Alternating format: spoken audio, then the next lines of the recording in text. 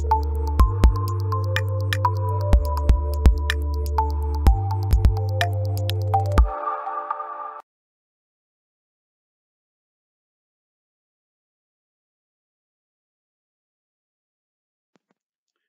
want to leave this thought with you today. We want to change the atmosphere of your life. And as you prepare for your weekend, we want God to bless you in an abundant way. Now, we realize that people listen to these whenever they get around to it. That's fine. But we want to leave a very powerful thought with you. Whether you listen to it early in the morning, like when, when we do, like when we want you to be able to actually see these segments when you first get up in the morning, so that way you can start your day off in the supernatural power of God. But whenever you listen to it, it's, it's relevant, quality over quantity. Remember, the anointing of God is timeless. We've seen God, I mean, bless people and heal people off the recording, so we're fine. But we, but again, it's not in the multitude of what we say, but it's in the quality of what we say and do in the presence of God. Oh my God, we want to feel the presence of God too. We want to be a partaker in everything that God is doing in this time right now.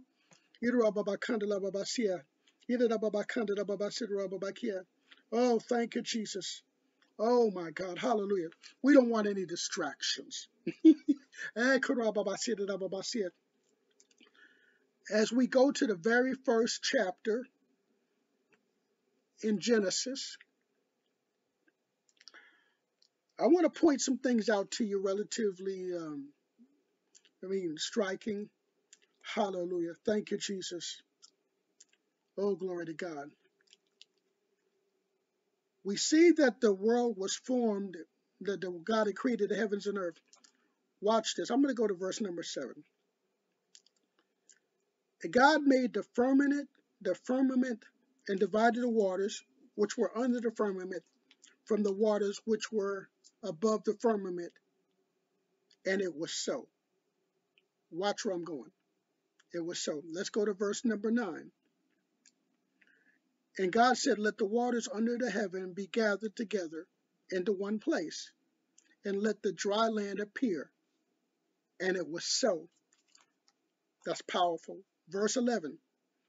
And God said, Let the earth bring forth grass, the herb yielding seed, and the fruit tree yielding fruit after its kind, whose seed is in itself upon the earth.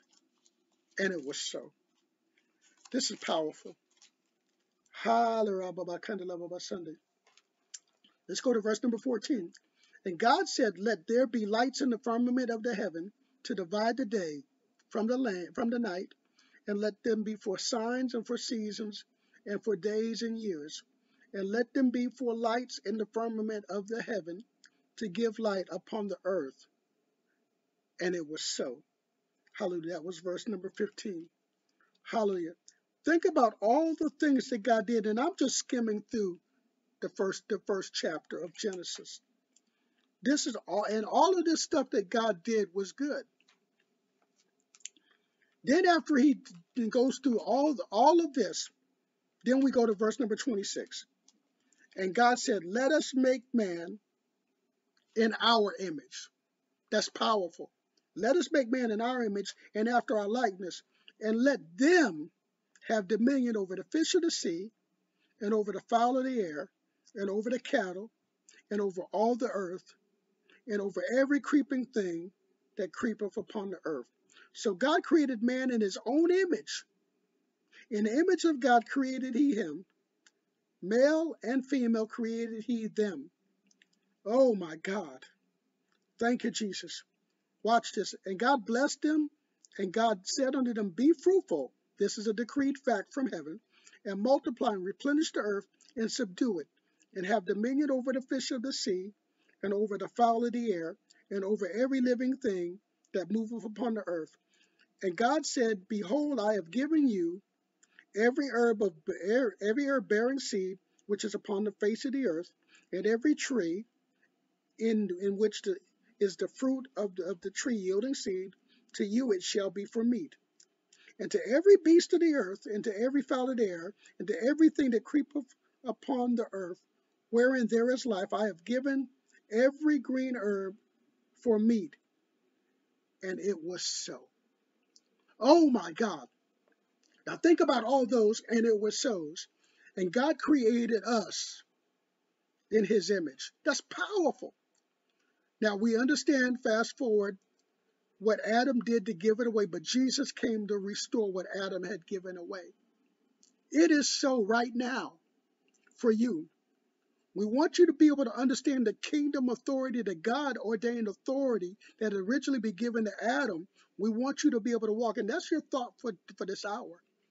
Oh my God. And this is why we praise God and worship God the way we do. And this is why we declare things on these segments. Whenever we do stuff, we declare things based upon the authority that we know by inheritance that God has given us. And we want to bless those of you that trans that are going to be transitioning. Oh my Sunday. We touch and agree right now in the matchless, powerful name of Jesus for heaven on earth. And it is so. It was and it is so in your life right now. We come against sickness and disease. We come against every attack of the adversary. In the name of Jesus, we break the yoke of the oppressor. We activate the illumination and the revelation of who you are in Christ. And it is so. It is so. It is so. We want you. Oh my God, it is. Eh, glory to God. It is so right now. Oh, feel Oh my God. Thank you. Lord, thank you for the. Oh, thank you.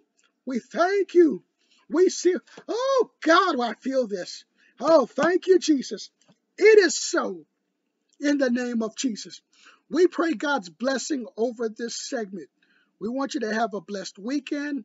We want you to have a blessed time in the Holy Ghost.